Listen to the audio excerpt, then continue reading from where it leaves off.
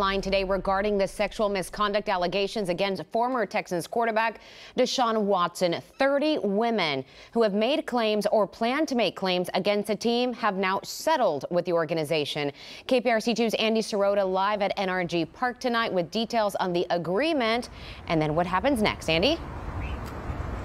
Daniela, the terms of the settlement are confidential. As for Deshaun Watson, his troubles are far from over. A neutral arbitrator has yet to make a decision in his NFL disciplinary hearing.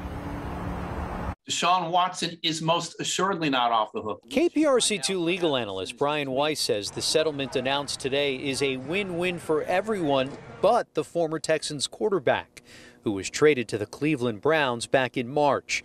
Watson is awaiting word on his possible suspension for all or part of the 2022 season. If Deshaun Watson manages to take a single snap from center in a Cleveland Browns uniform in 2022, it's a huge victory for DW4, Rusty Hardin, and the NFL Players Association. The lawsuit accused the Texans of being aware of Watson's alleged behavior during massage therapy sessions. It also claimed the Texans provided Watson with resources for those sessions, including non disclosure agreements.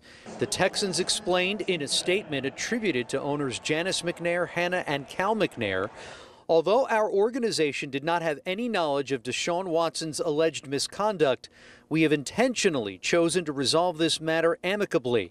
This is not an admission of any wrongdoing, but instead a clear stand against any form of sexual assault and misconduct. Tony Buzbee, who represents Watson's alleged victims, issued the following statement. I will have no further comment on the allegations or the Texans' role other than to say that there is a marked contrast in the way in which the Texans addressed these allegations and the way in which Watson's team has done so.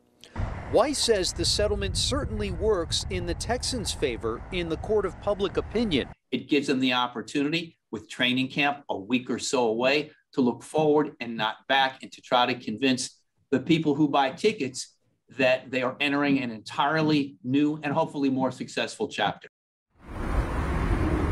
The arbitrator could make a decision as soon as next week.